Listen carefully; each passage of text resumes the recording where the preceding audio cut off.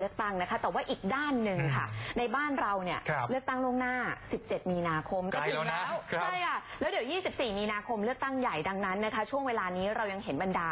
เอ่อผู้สมัครสสจากหลากหลายพรรคการเมืองเลย ลุยลงพื้นที่หาเสียงกันอย่างเต็มที่นะคะ เดี๋ยวเราไปไล่เรียงดูกันค่ะ พาคุณผู้ชมไปดูการลงพื้นที่ของทางประชาธิปัตย์กันก่อนนะคะ เมื่อวานนี้น่ะมีการประกาศจุดยืนทางการเมืองนะคะ จากทางหัวหน้าพักนายอภิสิทธิ์เวชชาชีวะนะคะ วันนี้ก็เลยมีภาพที่ลุยกันต่อเลยนะคะคุณคุณอภิสิทธิ์พร้อมด้วยนายอัศวินวิภูสิริรองหัวหน้าพักลงพื้นที่ไปที่จังหวัดตากไปพบปะประชาชนแล้วก็ขอคะแนนเสียงสนับสนุนพักและผู้สมัครสสของพักทั้ง 3 เขตนะคะ ที่ศาลาริมน้ำตำบลบ้านตากอำเภอบ้านตาก คุณอภิสิทธิ์เนี่ยกล่าวทักทายพี่น้องประชาชนแล้วย้ำว่าประชาธิปัตย์กับจังหวัดตากผูกพันกันมาหลายรุ่นหลายสมัย มีสสประชาธิปัตย์ยกทีมมาโดยตลอดการเข้ามาทำงานการเมือง ความซื่อสัตย์สุจริตเป็นสิ่งสำคัญที่สุด เมื่อได้นักการเมืองสุจริตแก้ปัญหา บ้านเมืองก็จะอยู่ได้อย่างยั่งยืนนะคะ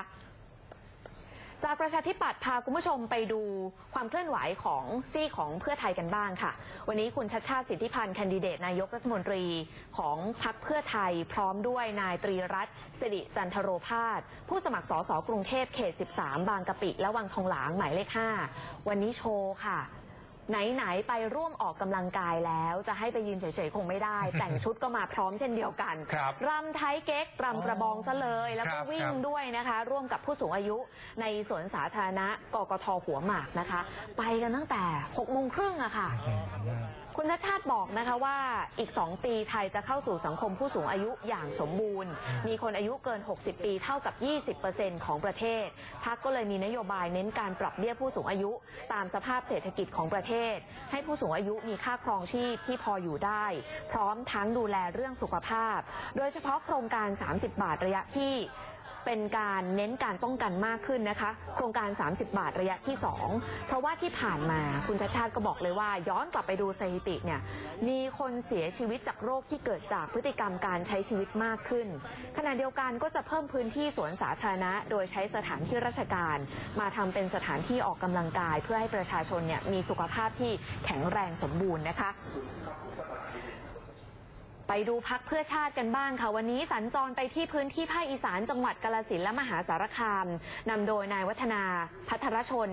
รองผู้อำนวยการศูนย์อำนวยการเลือกตั้งพักเพื่อชาติ และคณะผู้บริหารของพักนะคะ อย่างเช่น นายจตุพรพรมพันธ์ประธานนปชในฐานะที่เป็นผู้ช่วยหาเสียงพักเพื่อชาติ ไปปราศัยช่วยผู้สมัครสสของพักที่กาลสินก็คือนายชัยสิทธิ์ อุดรพิมพ์ อยู่เขต 4 เบอร์ 21 ที่ตลาดกลางเมืองอำเภอ ที่ตลาดกลางอำเภอคำม่วง จังหวัดกาลสินนะคะ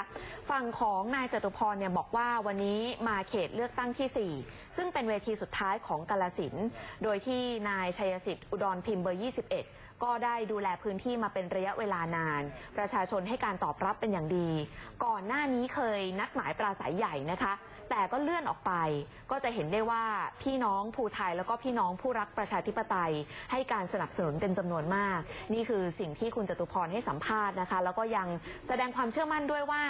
นี่เป็นอีกเขตของกาลสินธุ์ที่ทางพักเนี่ยจะได้สมาชิกสภาผู้แทนราษฎร เชื่อว่าอีกสิบกว่าวันจะถึงการเลือกตั้งครับนั่นก็เท่ากับว่าอีกสิบกว่าวันเนี่ยจะเห็นชัยชนะเช่นเดียวกันค่ะนะฟังเสียงของนักการเมืองกันแล้วนะครับ มาฟัง